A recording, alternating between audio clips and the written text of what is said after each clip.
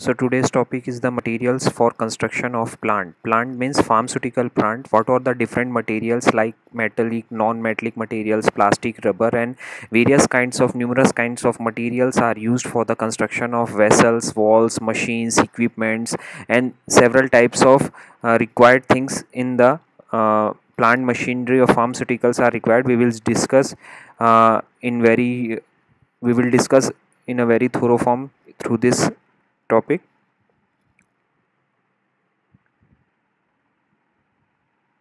So the classification of materials for the plant construction we can see in this slide the material of construction can be divided into the two types of material that is metals and non-metals. Non-metals can be further categorized into ferrous and non-ferrous type. It is uh, very clear from the name. Ferrous means related to iron and non-ferrous means non-ionic substances. So uh, ferrous substances or materials are including cast iron stainless steel carbon and stainless steel stainless carbon and stainless steel. These are all comes under the ferrous part and non-ferrous materials including lead and aluminium. Here in the right hand side the non-metals used for the construction of plant pharmaceutical plant including inorganic and organic materials inorganic including glass and organic materials including rubber and plastic.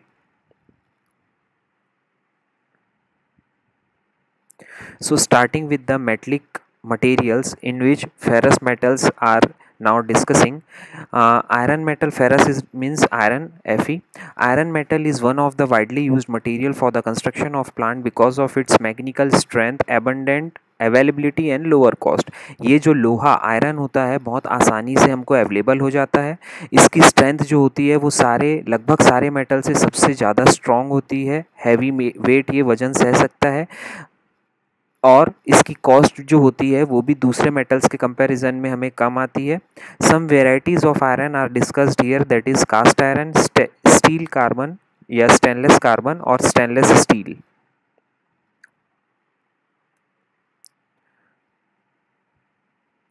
so first type of ferrous metal are cast is cast iron what is cast iron it consist of iron plus carbon in the ratio of 1.7 point seven two five percent plus silicon and manganese. ये सारे metals होते हैं जिसको cast iron में mix करने पर cast iron बनता है। Its property is dependent on the amount of carbon present in it जैसे यहाँ पर पाँच परसेंट कार्बन इसमें दिखाया गया है कास्ट आयरन के एक मैन्युफैक्चरिंग में। यहाँ पर आयरन की क्वांटिटी को कम या ज़्यादा करके कास्ट आयरन के स्ट्रेंथ को वेरी कर सकते हैं। Cast iron is abundantly available, inexpensive and widely used these uh, there are two types of cast iron that is white cast iron and gray cast iron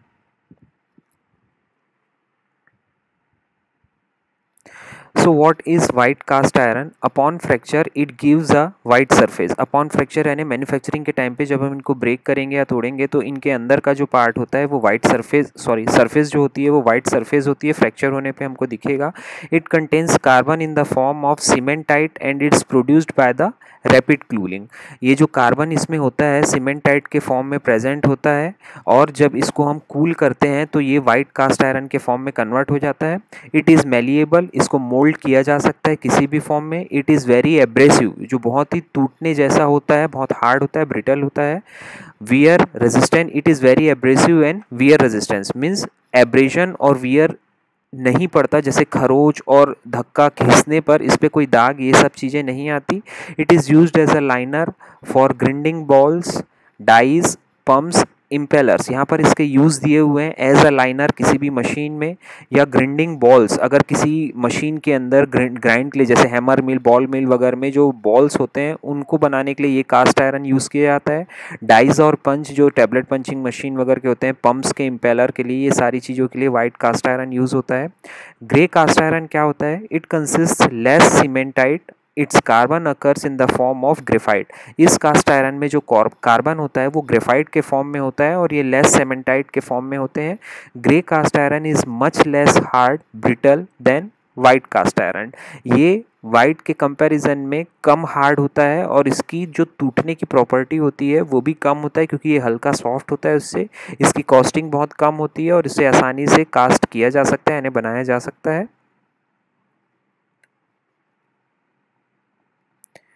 जो gray cast iron रहता है having a outstanding ability to absorb the vibration and wear resistant कंपन vibration in the sense किसी machine में लगा हुआ heavy machine में वो वर्क कर रही है तो उसके वाइब्रेशन को आसानी से बियर कर पाता है और resistance wear and abrasive resistant होता है, इसमें आसानी से खरोच नहीं पड़ती। इसके यूजेस क्या है?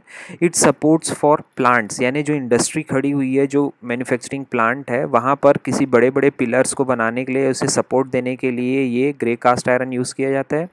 जैकेट्स ऑफ़ स्टीम पैन जो मशीन के अंदर स्टीम फ्लो करने के लिए जो पैंस लगे होते हैं, वो कास्ट आयरन के बने होते हैं।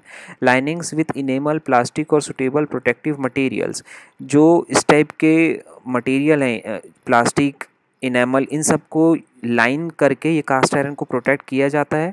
14 percent addition of silicon in the cast iron a hard and brittle casting alloy is formed which is resistant to the attack of nitric acid and sulphuric acid अगर कास्ट आयरन के साथ 14 percent silicon को mix कर दिया जाए तो इसकी brittle property और हार्डनेस जो होती है, वो बहुत ज़्यादा बढ़ जाती है और ये सल्फ्यूरिक एसिड और नाइट्रिक एसिड के लिए रेजिस्टेंट होते हैं। उन एसिड का इन पर फ़र्क नहीं पड़ता।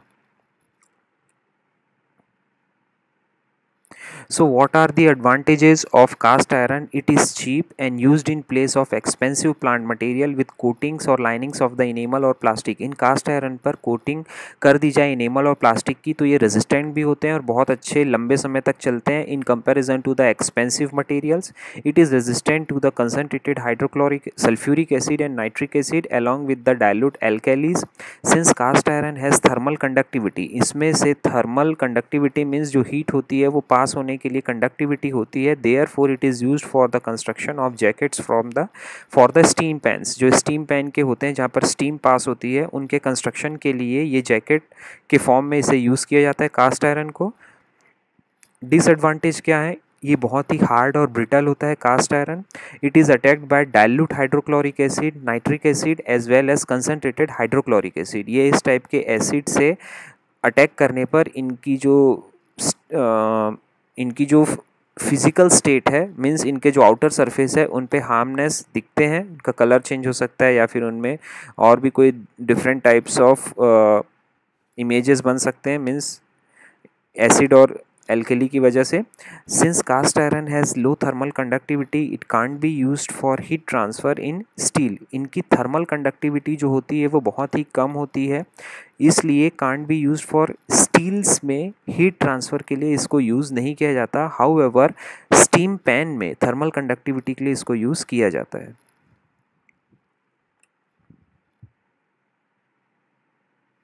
नाउ कार्बन स्टील और stainless carbon so what carbon steel is an iron alloy which contains only a small percentage of the carbon Variants of carbon steel are the property of carbon steel can be altered by alloying it with other metals and their properties are ये जो carbon steel होता है, इसमें carbon के बहुत small quantity या percentage होने की वजह से इसको कार्बन स्टील माइल्ड स्टील या स्टेनलेस स्टील कहते हैं सॉरी स्टेनलेस कार्बन कहते हैं। इसमें और अदर एलॉयज़ को मिक्स करके इसकी प्रॉपर्टी को चेंज किया जा सकता है मेटल की, जैसे निकल ये इसकी टफनेस को कोरूजन रेजिस्टेंस को और टेम्परेचर टू ऑक्सीडेशन को एनहांस करता है। अगर निकल कार्बन स्टील के साथ मिला दिया जाए क्रोमियम ऐड करने पर इसकी हार्डनेस बढ़ जाती है।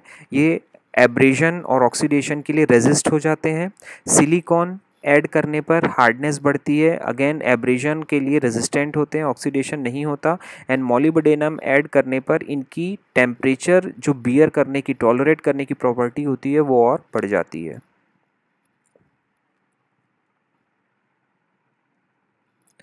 सो so, इसके यूज़ क्या हैं? Construction for bars pipes and plates बड़े बड़े खंबे या पाइप प्लेट बनाने के लिए ये कार्बन स्टील का यूज़ किया जाता है। Tank for water storage tank for water sulphuric acid hydrochloric acid और दूसरे ऑर्गेनिक सॉल्वेंट्स जो होते हैं एल्डिहाइड अल्कोहल वगैरह के उन सबको स्टोर करने के लिए जो टैंक बड़ा टैंक बनता है वो इस स्टील का बना होता है। कार्बन स्टील का supporting structure such as grinders basis for plant vessels इन सबको बनाने के लिए भी इसका यूज़ किया जाता है। एडवांटेजेस क्या है? ये बहुत ही सस्ता होता है, इसलिए प्रिफर किया जाता है। वेल्डिंग इसमें बहुत आसानी से करके इसका फैब्रिकेशन बहुत आसान होता है इस टाइप के स्टील का। डिसएडवांटेज क्या है? कोरूजन के लिए बहुत कम रेजिस्टेंट है ये और caustic soda brine water sea water के साथ रिएक्ट करते हैं, जिससे कारण इनकी प्रॉपर्टी अफेक्टेड होती है। Now stainless steel. There are more than 70 standard types of steel are known in which the major ones are stainless steel 302 contain iron, chromium, nickel and carbon in different percentage or stainless steel 304 contains iron, chromium, nickel and carbon in different percentage. So this abundant type of stainless steel is used because of the several properties it have that is heat resistance, corrosion resistance ease of fabrication cleaning and sterilisation and tensile strength इतनी property की वजह से इस stainless steel का उपयोग बहुत ज़्यादा होता है। हम भी अपने होम्स में जो मोस्ट ऑफ़ द किचन्स में यूटेंसिल्स यूज़ करते हैं, उसमें स्टेनलेस स्टील के जो यूटेंसिल्स होते हैं वो काफ़ी ज़्यादा होते हैं क्योंकि इनकी heat resistance property corrosion resistance property होती है। आसानी से साफ़ करना किया जा सकता है। टेंसाइल स्ट्रेंथ काफ़ी अच्छी होती, गिरने पर ब्रेक नहीं होता, ये सारी प्रॉपर्टीज़ हैं इसकी।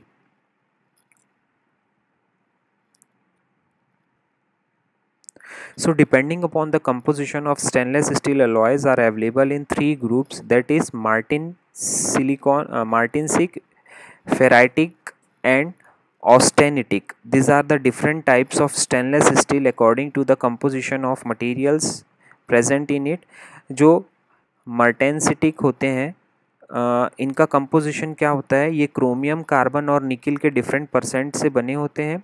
एडवांटेज इनका ये होता है कोरोजन रेजिस्टेंट होते हैं। एटमॉस्फेयर और ऑर्गेनिक एक्सपोजर इनका नहीं होता खुले में रखने पर। डक्टिलिटी इज़ पुअर डक्टाइल बहुत कम होते हैं, ये नहीं होते. डक्टाइल यूजेस क्या है इसके? सिंक बनाने में बेंच टॉप बनाने में स्टोरेज टैंक बनाने में बकेट मिक्सिंग एलिमेंट्स वगैरह को बनाने में इस मर्टेंसिटिक स्टेनलेस स्टील का यूज़ होता है, जिसमें अलॉयस के कारण ये क्रोमियम कार्बन निकल मिक्स होते हैं. फेराइटिक जो अल्फ़ा फॉर्म होता है, इसमें क्रोमियम, कार्बन, निकिल निकिल का परसेंटेज नहीं है यहाँ पर, कितना होता है? इस फॉर्म की क्या प्रॉपर्टी होती है? इसमें कोरोजन रेजिस्टेंस काफ़ी अच्छा होता है ईजी टू मशीन होता है resistant to temperature and oxidation लंबे और सबसे ज़्यादा टेम्परेचर को भी 800 डिग्री सेल्सियस तक के टेम्परेचर को भी बियर कर सकता है। Not good against the reducing agent के लिए स्टोरेज के लिए, उनके वर्किंग के लिए अच्छा नहीं होता एचसीएल के साथ रिएक्ट रिएक्शन कॉज करता है। टॉवर की लाइनिंग के लिए baffle, separator, heat exchanger, tubings, condenser, furnace part pump shafts और वाल्व पार्ट्स। ये इतने सारे मटेरियल्स को बनाने के लिए इंस्ट्रूमेंट्स को बनाने के लिए स्टेनलेस स्टील अलॉय का यूज़ होता है। ऑस्टेनिटिक जो गामा फॉर्म होता है क्रोमियम निकिल और कार्बन के डिफरेंट परसेंटेज के बने होते हैं। इन, ये हाईली कोरोजन रेजिस्टेंट होते हैं। बहुत आसानी से साफ़ किए जा सकते हैं। Sterilize to ease to weld sterilization आसानी से किया जा सकता है। वेल्डिंग काफ़ी अच्छी होती है और नॉन मैग्नेटिक होते हैं। Not easy to machine machine के लिए आसानी से वर्कफुल नहीं होते ये। इन आ, इनके यूजेस क्या हैं? फर्मेंटर्स के लिए storage vessels evaporators extraction vessels और स्मॉल ऑपरेटर्स बनाने के लिए इनका यूज़ होता है।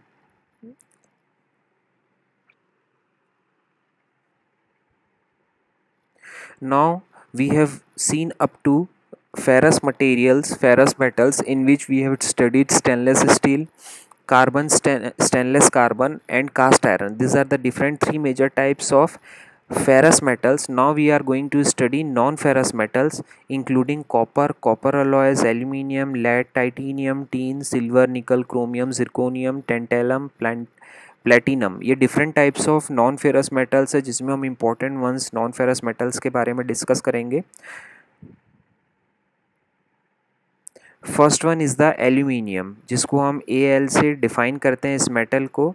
This is regularly use day to day life response reason R E S O N E नहीं आएगा। R E S O N spelling गलत है। Reason is it is cheap बहुत ही सस्ता होता है। लाइट इन वेट होता है। मैकेनिकल स्ट्रेंथ काफ़ी अच्छी होती है इसकी। आसानी से फैब्रिकेट किया जा सकता है इसको। और मेंटेनेंस और क्लीनिंग जो होती है, वो बहुत आसान होती है। मेंटेनेंस एंड क्लीनिंग आर आएगा। All also easy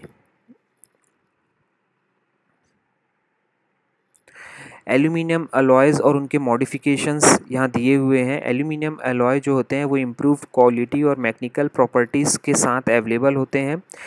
It is use in the construction of equipment producing medicinal substances since aluminium do does not affect the salt जो मेडिसिनल सब्सटेंसेस के इक्विपमेंट होते हैं most of the time aluminium के बने होते हैं, क्योंकि इनके साल्ट जो होते हैं does not affect the salt of the medicine aluminium is not toxic to the micro organisms also it is considerable use in biosynthetic process such as the production of citric acid gluconic acid streptomycin by deep culture method ये सारी process हम लोगों ने पढ़ी है citric acid gluconic acid streptomycin manufacture की। तो इनके जो इंस्ट्रूमेंट्स इक्विपमेंट्स होते हैं biosynthetic प्रोसेस के तो वो सारे एल्यूमिनियम के ही बने होते हैं it is mostly useful for the construction of containers namely drums barrels rail tankers इन सबको बनाने के लिए भी एल्यूमिनियम का बहुत ज़्यादा यूज़ होता है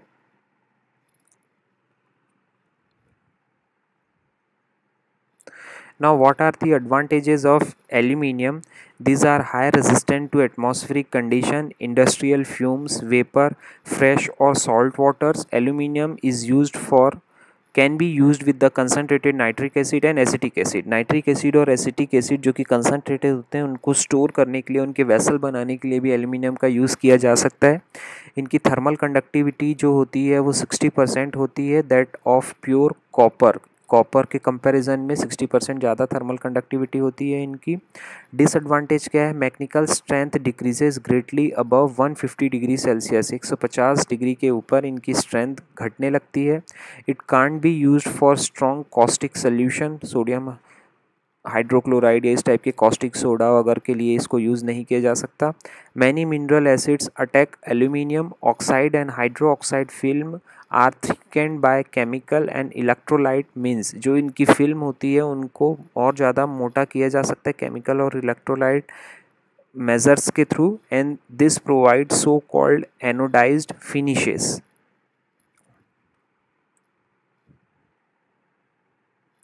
now copper and copper alloys the properties of copper and copper alloys are they are malleable ductile and easily fabricated they are highly electrical and thermal conductivity property they having इसमें heat और electricity दोनों आसानी से pass होती है।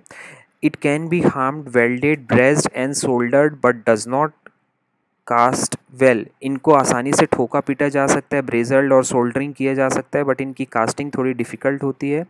Readily formed into tubes and pans tubes और pans बनाने में इनका बहुत ज़्यादा यूज़ होता है कॉपर अलॉयस का surface polish is high, so it is easy to clean, good heat transfer surface, it is resist, it resist non oxidizing agent as well. Non oxidizing agent को भी ये रोकता है और नाइट्रिक एसिड अटैक को copper जो होते हैं वो रेडियली नाइट्रिक एसिड के अटैक से डिटेरियोरेट हो सकते हैं।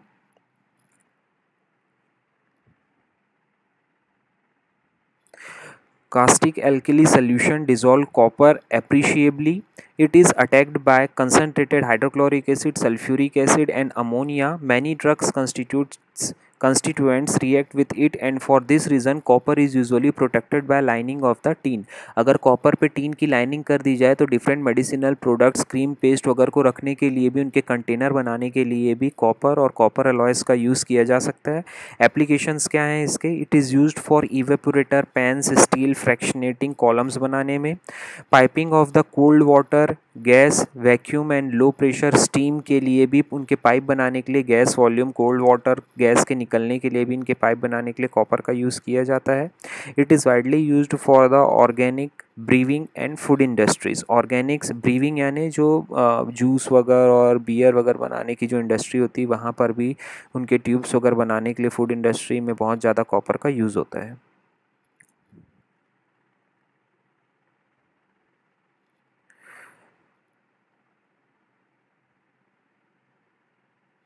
Now copper alloys. These alloys include zinc, aluminium, silicon, nickel, tin, etc.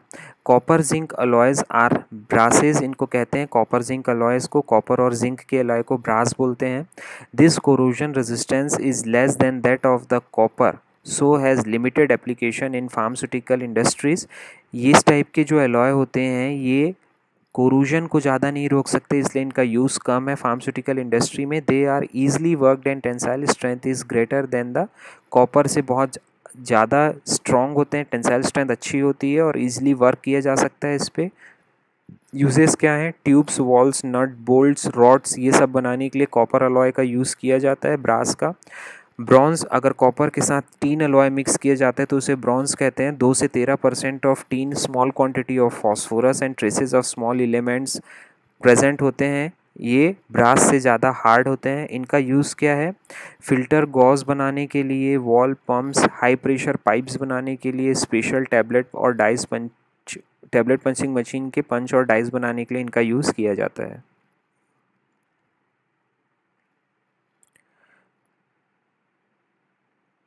Now lead. It has lowest cost and used as collapsible tube material, particularly for non-food products such as adhesive, ink, paint, loops. इस type के product के लिए जो collapsible tube होती है, जिनसे material को बाहर निकाला जाता है, उन सबको बनाने, वो सारे लेड के बने होते हैं, जो बहुत ही सस्ता होता है। इंटरनल लाइनिंग्स जो होती है फ्लोराइड की होती है टूथपेस्ट के फॉर्मेशन के फॉर्मेशन में। लेड चैम्बर जो होता है it is use in the manufacture lead chamber process is use in the manufacture of sulphuric acid sulphuric acid के मैन्युफैक्चर में ये लेड का चैम्बर ही बना होता है, उनके प्रोसेस मैन्युफैक्चरिंग के टाइम पे. डिसएडवांटेज क्या होता है? Lead has low melting point hence possesses poor structural qualities इनका मेल्टिंग पॉइंट बहुत ही कम होता है तो इनकी स्ट्रक्चरल क्वालिटी बहुत पुअर होती है।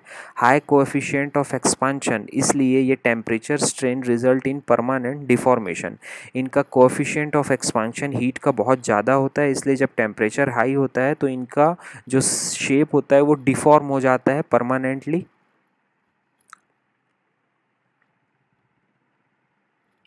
Lead is little used in pharmaceutical practice because of the risk of contamination even in the traces produce toxicity and of cumulative nature. pharmaceutical industry में इनकी lead की toxicity बहुत ज़्यादा सीवियर होती है, जिसके कारण प्रोडक्ट और मेडिसिन की क्वालिटी बदल सकती है, इसलिए इनका यूज़ बहुत रेस्ट्रिक्टेड होता है। Usage it is use in the chemical industries for the construction of ये कोल्ड वाटर होगा क्लॉड लिखा हुआ है। Construction of cold water pipes waste pipes and dilution tanks for the laboratories lead alloys और उनके मॉडिफिकेशंस यहाँ दिए हुए हैं। सिल्वर और कॉपर के अलॉय जो लेड के साथ मिक्स होते हैं, ये कोरोजन रेजिस्टेंट होते हैं और क्रीप और फैटिक रेजिस्टेंट भी होते हैं। ज़्यादा वियर एब्रेशन का इस पर फ़र्क नहीं पड़ता। एंटीमनी जिंक और आर्सेनिक अगर मिक्स करके अलॉय लेड अलॉय बनाते हैं, इनकी हार्डनेस और मेल्टिंग पॉइंट कम होता है।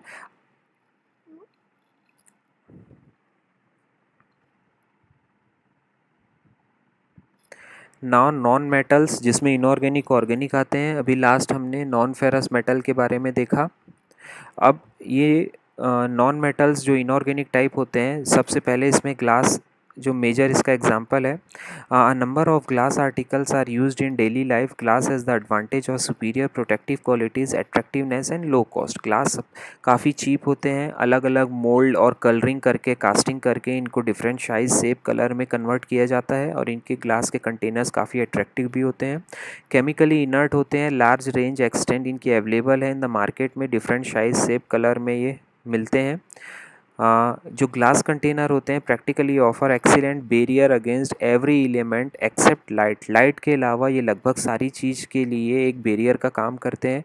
यूवी रेज और sunlight are harmful to the ingredients and bring about chemical deterioration transparent glass तो ट्रांसपेरेंट ही होगा। Some of the time amber colour glass हम यूज़ करते हैं। बहुत सारे फार्मास्यूटिकल प्रोडक्ट सिरप ऑइंटमेंट्स को प्रोटेक्ट करने के लिए यूवी लाइट से क्योंकि यूवी लाइट बहुत आसानी से पास होती है ग्लास से। Protective action against light can be achieved by amber coloured glass So protection against uh, infrared rays can be obtained by using green glass. The disadvantages and its and weight. ये काफ़ी भारी होते हैं और टूटने पर गिर जाते हैं, गिरने पर टूट जाते हैं। It is considered as super cooled through it is seen in the solid state, the constituents are present in the amorphous form. It is composed of following constituent जैसे sand और सिलिका प्योर बेस्ड मटेरियल होते हैं। Soda है sodium carbonate जो कि इनकी quality को improve करते हैं। लाइम स्टोन और calcium carbonate again improves the quality property and cullet और ब्रोकन ग्लास जो होते हैं, वो फ्यूजन एजेंट होते हैं। डिफरेंट टाइप्स ऑफ़ ग्लासेस की वेराइटी नेक्स्ट स्लाइड टेबल में दी हुई है।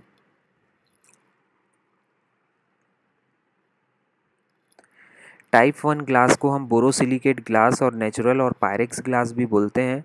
इनके एप्लीकेशन क्या हैं? केमिकल्स के लिए, रखने के लिए बोरोसिलिकेट ग्लास के बने होते हैं। ओवन वेयर के लिए और कंटेनर एल्केली सेंसिटिव प्रिपरेशन को रखने के कंटेनर भी बोरोसिलिकेट ग्लास के बने होते हैं।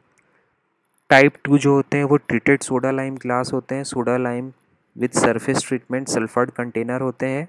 ये एल्केली सेंसिटिव होते हैं इस टाइप के glass container food blood plasma infusion fluids के लिए इनको यूज़ किया जाता है रखने के लिए। पेरेंट्रल्स डोजेज फॉर्म के लिए टाइप टू ग्लास यूज़ करते हैं और यूज्ड वंस ओनली एक बार ही इसका यूज़ करते हैं किसी भी प्रोडक्ट को रखने के लिए। ये जो टाइप्स ऑफ़ ग्लास हैं, बहुत इंपॉर्टेंट है competitive exam point of view से। टाइप थ्री जो ग्लास होते हैं, इनको सोडा लाइम ग्लास कहा जाता है और ऑर्डनरी ग्लास भी कहा जाता है। Medicated bottle only for non aqueous liquid preparation रखने के लिए इसको यूज़ किया जाता है। इंजेक्शन्स में जो पाउडर्स के रखने के लिए एल्केली सेंसिटिव प्रोडक्ट्स के लिए नहीं यूज़ किया जाता। पेरेंट्रल्स के लिए भी इसको यूज़ नहीं किया जाता और एक बार ही इसका यूज़ होता है यूज़ एंड थ्रो की प्रॉपर्टी होती है। Non parenteral type four glass जो होता है, वो ओरल और टॉपिकल प्रिपरेशन के लिए यूज़ किया जाता है।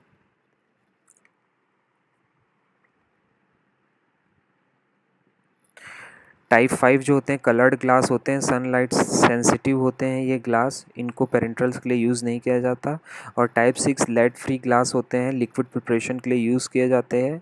और used when preparation mean for the lead poisoning से बचाने के लिए अगर कोई प्रोडक्ट है, जैसे इथिलीन डायामीन टेट्रासिटिक एसिड इन सबको रखने के लिए भी लेड फ्री ग्लास यूज़ किया जाता है।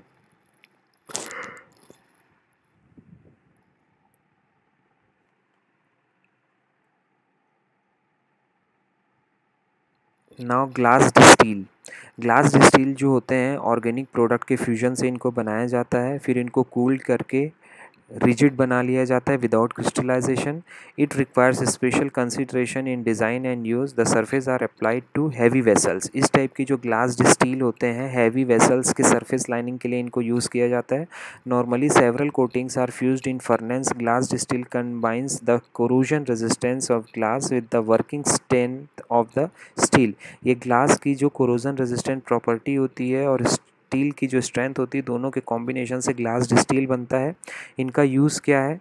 Glass lined steel is use for strong acid alkalis and saline solutions के लिए यूज़ किया जाता है। स्मॉल स्केल मैन्युफैक्चर में पायलट प्लांट वर्क के लिए ग्लास स्टील वेसल्स का यूज़ होता है।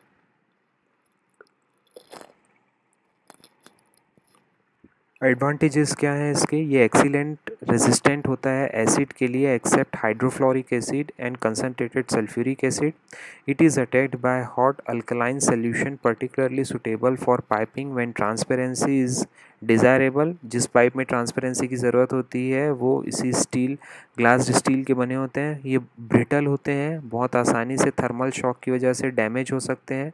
It is protected using glass lined with the epoxy polyester fibre glass ये जो फाइबर पॉलिस्टर फाइबर ग्लास होते हैं, उनके प्रोटेक्ट ग्लास को लाइन करके प्रोटेक्ट किया जा सकता है।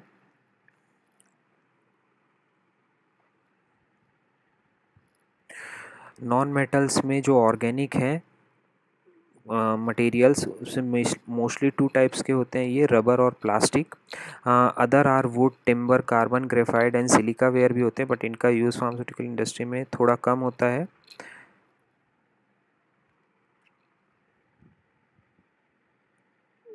So, rubber is used as for lining material for the construction of plant. Both nature and natural and synthetic rubber are used. इसके बहुत सारे टाइप्स हैं. Natural rubber soft rubber hard rubber synthetic rubber synthetic rubber फिर neoprene के बने होते हैं. Rubber butyl rubber silicone rubber and poly isoprene के बने होते हैं. रबर की आइडियल क्वालिटीज़ क्या होती है? It is used for closure as a closure soft होते हैं इलास्टिसिटी काफ़ी अच्छी होती है एयर और मॉइस्चर के लिए इम्परमिएबल होते हैं एयर टाइट क्लोजिंग होती है इनकी कॉम्पेटेबल होते हैं प्रोडक्ट के साथ, कोई रिएक्शन कॉज नहीं करते do not migrate any additive to the preparation कोई भी लीचिंग प्रॉपर्टी काफ़ी कम होती है। Negligible extraction of the preparation ingredients good ageing qualities काफ़ी लंबे समय तक चलते हैं। विथ स्टैंड स्टरलाइजेशन टेम्परेचर के साथ बियर करते हैं ये। Oil resisting for oily preparation के लिए ऑयल रेजिस्ट करते हैं and do not yield any fragments इनके कोई रेसिड्यूज़ या फ्रेगमेंट्स आपके प्रोडक्ट में नहीं जाते।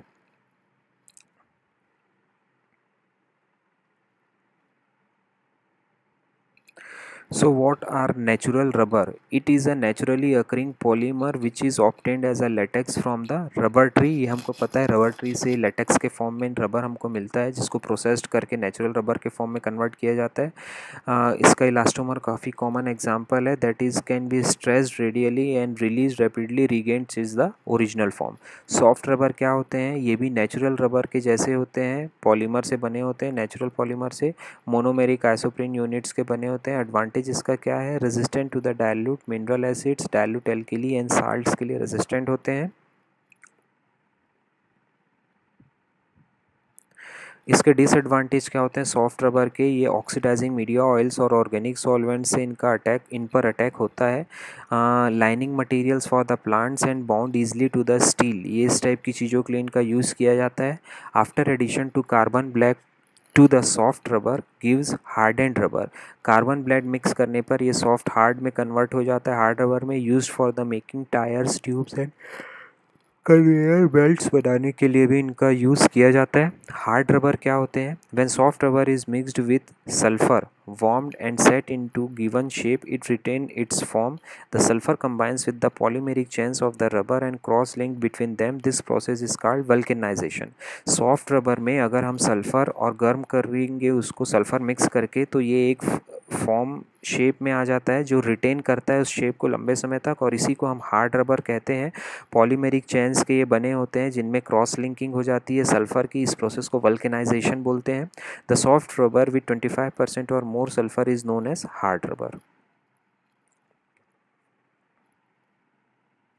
advantage क्या है? हार्ड रबर के हार्डनेस और स्ट्रेंथ काफ़ी अच्छी होती है। ग्लव्स बैंड्स ट्यूब्स और स्टॉपर बनाने में यूज़ किया जाता है।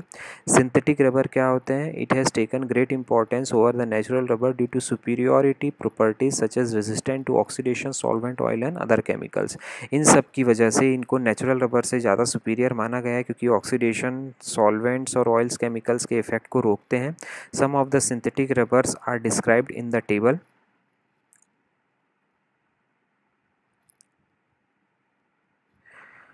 neoprene जो होता है, पॉलीक्लोरोप्रिन भी इसको बोलते हैं। प्रॉपर्टीज़ क्या होती है? रेडियली आसानी से जलता नहीं है, टेम्परेचर के लिए स्टेबल रहता है। इंसुलेटिंग प्रॉपर्टी होती है इलेक्ट्रिक केबल्स बनाने के लिए, कन्वेयर्स, बेल्ट बनाने के लिए, कोन माइंस में। होजेस होजेस यानी एक टाइप का पाइप होता है, जिससे ऑयल को एक जगह से दूसरी जगह भेजा जाता है। Rubber stoppers, cap liners, droppers eye drops ये सब बनाने के लिए इनका यूज़ किया जाता है नियोप्रिन का। नाइट्राइल रबर क्या होते हैं? रेजिस्टेंट टू ऑयल और सॉल्वेंट होते हैं। इनका स्पेसिफिक यूज़ यहाँ अभी शो नहीं है। ब्यूटाइल रबर क्या होते हैं? Resistant to mineral acids alkali and concentrated acids के लिए रेजिस्टेंट ये प्रॉपर्टी है इनकी। क्लोजर और फ्रीज ड्राइड प्रोडक्ट बनाने के लिए container because of its low water vapour permeability के लिए इनको यूज़ किया जाता है। क्लोजर बनाने के लिए। सिलिकॉन, रबर पॉलीसिलॉक्सेंस भी कहते हैं, ये हाई और लो टेम्परेचर के लिए रेजिस्टेंट होते हैं। एलिफेटिक सॉल्वेंट्स ऑयल और ग्रीस के लिए भी रेजिस्टेंट होते हैं उनके अटैक के लिए। अटैक टू एलिफेटिक नहीं जो ऑयल और ग्रीस होते हैं, उनसे अटैक उनसे भी रेजिस्टेंट कॉज करते हैं। पॉली आइसोप्रिन होगा, ये सोप्रिन लिखा है। पॉली आइसोप्रीन हाई टेम्परेचर और ट्रांसलूसेंट फ्लेक्सिबल होते हैं। Synthetic rubber is thermoplastic when mixed with sulphur thermoplastic यानी आसानी से मोल्ड करके वापस शेप को रिगेन कर लेते हैं ये। Set into a given shape it retain its form vulcanization of rubber is possible it is use for making gloves bands tubes caps for the vials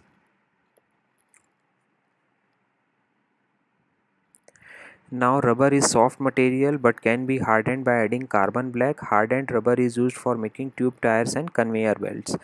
Now the last one is the plastic. It is used in various ways. It is cheap, light in weight, easily transport transpiration transportation is easy. This available in variety of shapes implying can be used can be easily fabricated आसानी से बनाया जा सकता है Plastic material is used for storing number of substances, inorganic salts, weak mineral acids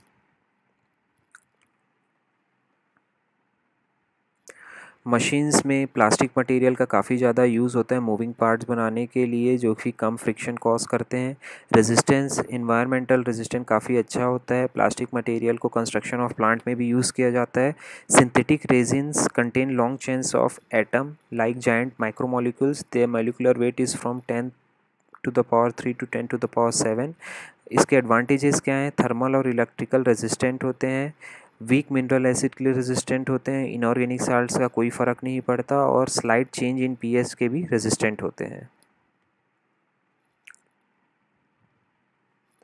इसके disadvantage क्या है? Thermal और इलेक्ट्रिकल स्ट्रेंथ काफ़ी कम होती है। हीट एक्सपांशन रेट बहुत हाई होता है। Two types of plastics are known thermosetting and thermoplastic जो थर्मोसेटिंग होते हैं, इनको हीट और प्रेशर देने पर ये सॉफ्ट नहीं होते एक बार बनने के बाद they are made from phenolic and urea resins और जो थर्मोप्लास्टिक होते हैं, इनको हीट और प्रेशर देने पर ये सॉफ्ट और रीमोल्ड किया जा सकता है, ये इनका स्पेसिफिक एडवांटेज है।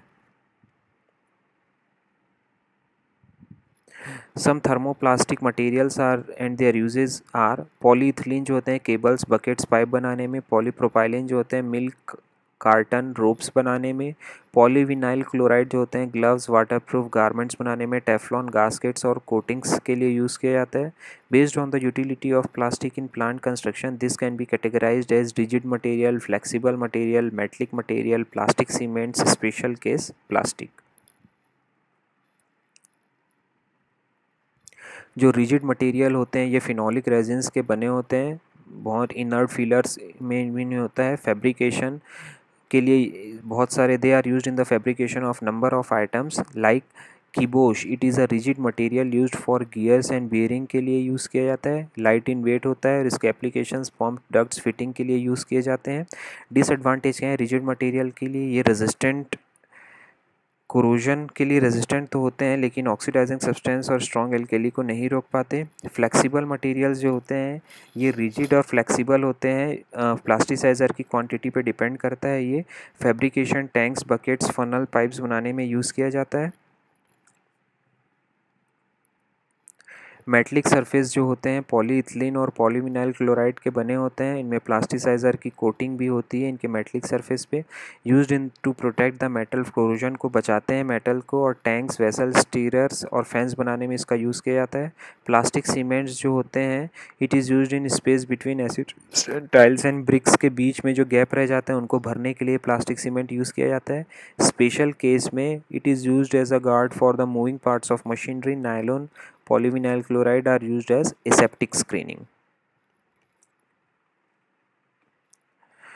Now here the types of thermoplastics that is polyolefins uh, ये low density polyethylene high density polyethylene polypropylene इसमें आते हैं पॉलीस्टायरिन पॉलीविनाइल क्लोराइड में प्लास्टिसाइज्ड अनप्लास्टिसाइज्ड पॉलीकार्बोनेट पॉलीमिथाइल मेथेक्रिलेट और पॉलीएमिन्स पॉलीटेट्राफ्लोरोइथिलीन ये डिफरेंट टाइप्स है थर्मोप्लास्टिक के overall plastic is used as a container for transfusion solution and retention enemas के लिए यूज़ किया जाता है।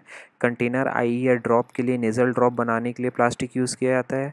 ऑइनमेंट ट्यूब के लिए स्प्रे बॉटल के लिए स्क्वीजिंग बॉटल जो पानी मिनरल वाटर पीते हैं, वो सपोजिट्रीज पैक के लिए flexible packing bottle jars and closures के लिए भी प्लास्टिक का काफ़ी उपयोग होता है। एडवांटेजेस ऑफ़ प्लास्टिक क्या है? अनब्रेकेबल होते हैं टफ फ्लेक्सिबल ड्यूरेबल होते हैं। वेट में कम होते हैं, आसानी से इधर उधर ले जाया जा सकता है। बहुत सारे शेप साइज़ में अवेलेबल हैं, सस्ते होते हैं। मैन्युफैक्चरिंग लार्ज स्केल में किया जा सकता है, आसानी से टच करने पर काफ़ी अच्छा फील आता है। सक बैक फीचर इनके होते हैं, यानी फेंको और यूज़ करो। ऑर्डर लेस होते हैं गुड केमिकल रेजिस्टेंट होते हैं।